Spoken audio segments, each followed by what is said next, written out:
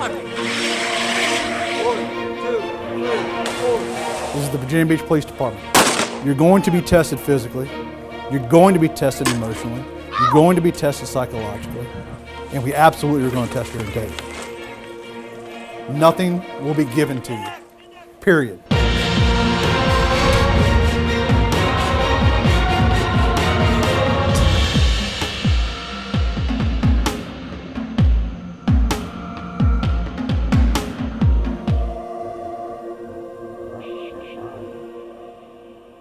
You guys are all here. You passed the first step.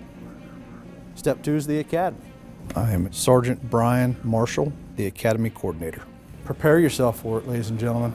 We haven't had an academy in session for about three months. We are extremely excited to have you. Take a seat and sit down. I suggest y'all hurry up. My name is John Sharp. I'm 28. I'm originally from Utah. You know, the whole application process, you're putting your best traits forward. You have your initial application, you have a polygraph, you have a background interview, you have a background check, and then you know you have your PT assessment and everything else, and it's like, holy crap. It's seriously the longest freaking thing I've done in my life. They want all your family background, all your friends' background, where you're from, who's this. It, it's just a lot. You show back up for the written test and the psychological evaluation. A couple more months go by, and then it's the interview. Eight or nine individuals in a room, all expecting you to say the right thing. The people you're talking to are giving you, at least in my case, a very enthusiastic yes. Like, we're excited to have you, we're glad to have you, you're gonna do great. And so I came in with the complete incorrect mindset. You know, it could be shorter, it would be great, but you know, it is what it is. Day one is a unique adventure, not only from my standpoint, but from my squad leaders right to the recruits. Everybody's usually excited about day one. The new group, the new batch, what can we expect? Hopefully we're getting what we would consider a good crop of recruits to, you know, to mold and, and grow and ultimately you know, train them to come back and take our jobs at some point. As you get to know us through the course of the next 25 weeks, you will see probably just in this classroom, we have about 300 years of policing. Then most people really aren't sure what they're getting into. They have a, a novel idea, a media Hollywood enhanced image of what a police officer does.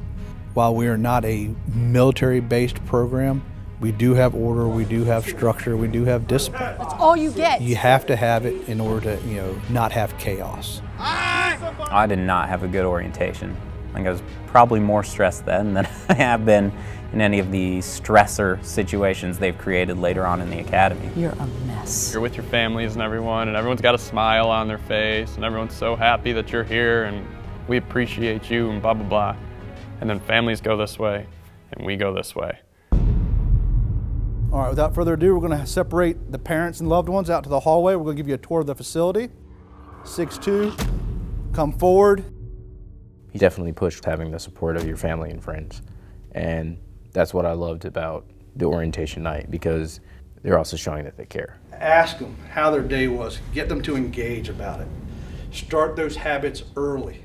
One of the biggest things that you guys can do is to let that support structure go to the wayside. At some point, they're going to need that structure. If you build it early, then it becomes a routine. Don't wait till it's too late to try to develop into it, okay? But in reality, once we started, it was just us. This is a law enforcement training academy. They kind of gave you a little taste of the structure that was going to be coming in the following week. You will find the X on the floor right here. You will stand at attention facing the pole that's directly in front of you. Took notes. Some people weren't prepared. All right, so let's talk about grooming first. They told us to take notes on everything they were saying. And they discuss the male grooming standards, and all the guys writing, writing, writing. They start to discuss the female ones, and everybody stops writing. And so I just leaned over and I said, hey, you might want to write this down. There are females in the class as well. I suggest you keep your mouth shut. Do you understand me? Yes, ma'am. That is absolutely disrespectful and it will not happen in this classroom again. Are we clear? Yes, ma'am. I had great intentions and terrible execution. We will line up in student number order. They gave you your number right then. You had to go to your shelf and grab it off. Group Bertrand, number two. People were struggling. They couldn't remember their number. Having to carry all that stuff and not drop it, and then you're already like sweating, and I was in heels, and I was like, oh my God, like I'm already like just like losing my mind and we haven't even started. I was kind of looking at everybody and trying to figure out, you know, okay, are these people competitive? Is this going to be like a competition? You know, who's the best recruit? We're all type A personalities. All of us like to be in control of things, which is why we've had such an issue coming together as a class, but I don't know, it's hard. You guys have a lot to think about between now and next Thursday. As a team, you are very, very strong. As an individual, you're a party of one. We will weed you out very, very quickly. It's interesting because you spend the first third of the academy just breaking them down. They come here expecting a whole lot of physical fitness and physical training, you know, PT, but they don't know how much and what kind. They're expecting classroom, but they don't know the atmosphere. Nice of you two to join us today. And we make sure that they are told the rules, that they understand the rules, and what's going to happen if they don't follow the rules. Not my fault you're not on time. Figure all the talking you did at orientation, you know everything by now. My staff is, is unique. They all have their own specialties.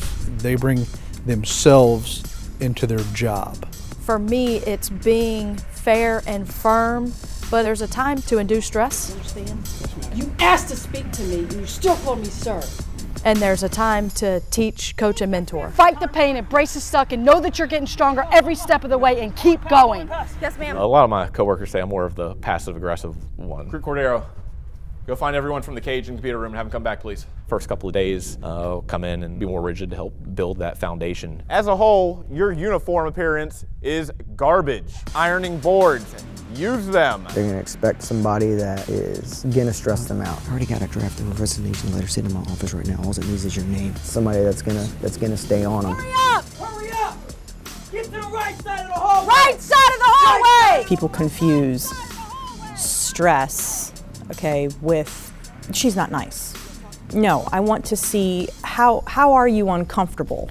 You need to be uncomfortable. You need to be able to live in uncomfortable. Anybody else need a potty break? When she says something, I expect you all to sound off. Is that understood? Yes, sir. If you can't stand getting yelled at, you know, or being told what to do, or being dressed properly and looking professional, I mean, you're not going to do it on the street.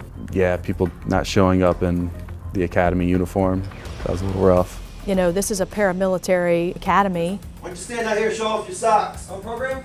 Look at that white thing. so there's a chain of command and there's a level of respect for your chain of command. They are learning essentially what their expectations are in the academy. At 0700, you will stand up and you will say the Pledge of Allegiance. Are we clear? Yes, ma'am. Let's get it done. I pledge allegiance. Drilling that discipline into you, it works. You know, it sucks, but it works. And Bill Johansson's talking, you're trying to size me up. I don't know what's going on. That's not going to happen. Is that understood? Yes, sir. It's called respect.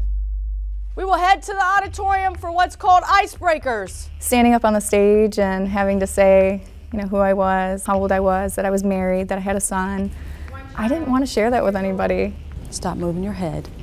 You're at position of attention. The only thing that should move is your mouth, not your eyes. It's not about the icebreaker itself. It's more about the attention to detail, stand at attention, Yes, sir. command presence. All of these are what you're going to need to become a police officer. Whether it's fear or nervousness, try to get the communication piece to it because let's face it, about 100% of our job is communication. You have no situational awareness at all. Period. The training for Virginia Beach is just so incredibly high level. And honestly, it's like one of the last places where I can be paid to work out professionally. The first day is an introduction to, to calisthenics. And when I'm seeing them do push-ups, when I'm seeing them do squats, when I'm seeing them do flutter kicks, you can see how coordinated some of these individuals are. Some come in physically prepared, most of them do not. That was a bit embarrassing because I actually had to be seen by rescue uh, after the first physical assessment. Walk you to the ambulance and then we'll, uh, I felt like I tried to prepare as best I could, but coming in, I mean, you got some serious PT studs in the academy, and it's keeping up with them was just not gonna happen. 1827. 1827. Some recruits stand out due to physical prowess. Some recruits stand out due to heart. But from the recruits, their biggest part right now is they're getting comfortable. They're comfortable in their own abilities right now. Some are still unsure of their abilities and that they even have the ability to be successful. But as long as they're in that classroom, Our goal is to successfully graduate them.